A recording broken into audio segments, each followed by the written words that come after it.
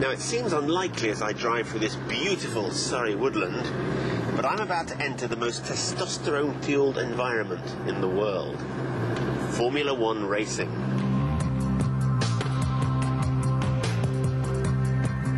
To build cars, you need a factory, and we all know what factories look like. Frightening, smoky, dark, satanic places, usually in the Midlands. Well, think again. The British invented factories back in the 18th century, and we've built some pretty impressive ones since Arkwright started doing his stuff. But this one must rank as one of the most beautiful factories ever built. This is the McLaren Technology Centre. As you can see, it's a spectacular building. I don't think we're doing it justice today because it's a really murky, overcast day. It's just started to rain. It probably looks a bit bleak here, a bit alien to me, a bit sort of space age, but alien, though I am assured there is a human heart in there beating away. It's a bit Thunderbirds-like, actually. You almost expect Thunderbird 2 to come out of the lake, though they actually don't do anything as useful as International Rescue here. They don't save the world from rogue psychopaths in little states in South America. They just make racing cars. But interesting enough, this was ranked fourth by the general public. Fourth favourite building by the public who've never seen it. Isn't that amazing? They've never seen it because they can't. This factory has been deliberately hidden from view. Why? Because these days when you tell the local council that you want to build a dark, satanic mill on the third field from the left, they get a bit uppity. They like the idea of the jobs, but they don't want you to spoil the view, such as it is. So McLaren were told they could have their factory so long as no one could see it over the hedges. The result is one of the most graceful, flat, modern buildings in Britain. It's just a shame none of the locals can see it. The man responsible is Ron Dennis, McLaren's chief executive. You get this quite surreal situation where you emerge Oh, and you're absolutely faced by this tremendous view. We've won many, many awards for the building, and, uh, and probably the first award which actually put a smile on our face was when the French awarded it as the, gave it the uh, automotive architectural statement of the year. And of course the France that gave us Renault, whom you'll have heard of. Oh yes, vaguely. now Ron, can I ask you, are you attracting sort of creative people in here be- just because of the building and the space? Well, well, I think so. I mean, uh, I say to them, you know, we're going to make this place so great you don't want to go home.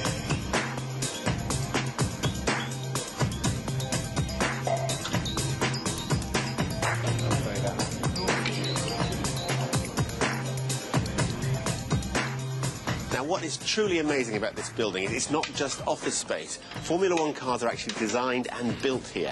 Isn't that right, Chris? That's right. Yeah. Well, this is ready by Tuesday. Once Chris has built my car of the future, I imagine he'll bring it here to the wind tunnel to check that it's as aerodynamic as I am. Now, I'm not going to tell you how long this is or how much the steel weighs because I can't remember. But this, the wind tunnel, is the most important tool in Formula One engineering. We can't actually film inside it because McLaren are very sensitive about their racing secrets. But I've seen them, so if you want to know, just give us a call after the show. Like my lovely assistant Claire, this building isn't just pretty, it's clever. The wind tunnel needs 6,000 litres of cold water every minute to cool the thing down, and the builders have found an elegant, economical way to do it. They use the water from this lake to cool down the turbines that drive the wind tunnel. The water goes into the system and is used in the air conditioning as well. Then it comes back into the system quite hot at the top of this cascade. Now the water is recooled by trickling down that cascade. and It goes back into the lake warm. Actually, there are carp in this lake, and carp can withstand quite big variations in temperature. Obviously, if the water goes in too hot, the carp explode.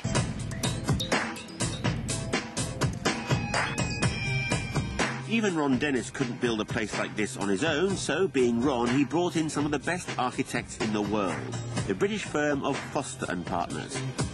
David Nelson was the partner in charge. It's probably a compliment to you and Foster's and, and Ron that you forget it's a manufacturing centre, don't you? I mean, I, this is a car factory. It's a car factory. And, and this is like no car factory you could ever imagine, isn't it? Well, Ron had a very clear idea of, of what the, the ambitions for the building should be. Mm. He really spent a huge amount of time thinking about the project, mm. and uh, that's that's rare. Yeah. It sounds an unusual thing to say, but it's a very unusual thing to say. No, well, I'm, we, I said we're now we're here to talk about the building, but we're talking about Ron instead. But in fact, in many ways, he was he was mm. very hands-on, wasn't he, right from the beginning? yeah. Hands-on. Yeah. I think we um, uh, we stopped counting after our 200th meeting. It became a bit academic, and we used to meet every two weeks, and uh, they're about five, six, seven hours long each time. British architecture has a different character to French, say, or Italian. We don't mind our buildings looking pretty, but we like them to work. For all the fancy architects, the McLaren factory remains essentially an engineer's building.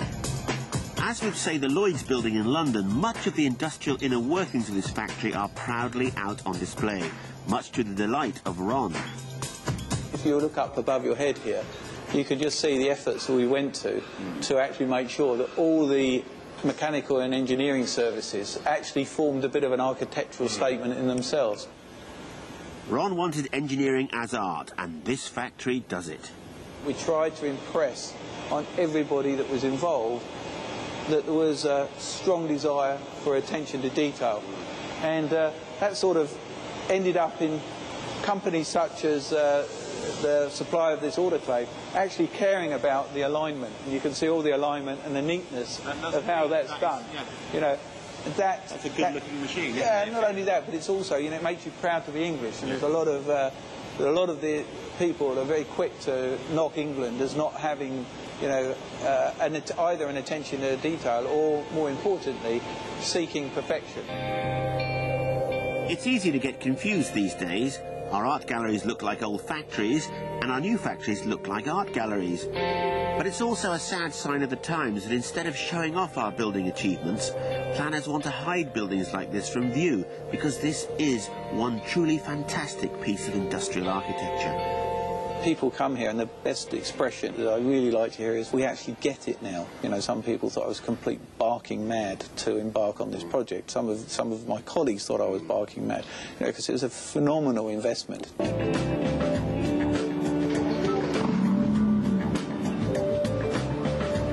Just how big an investment has never been revealed, but it's rumoured you could buy 1,000 of his £300,000 Mercedes McLaren SLRs for the same price.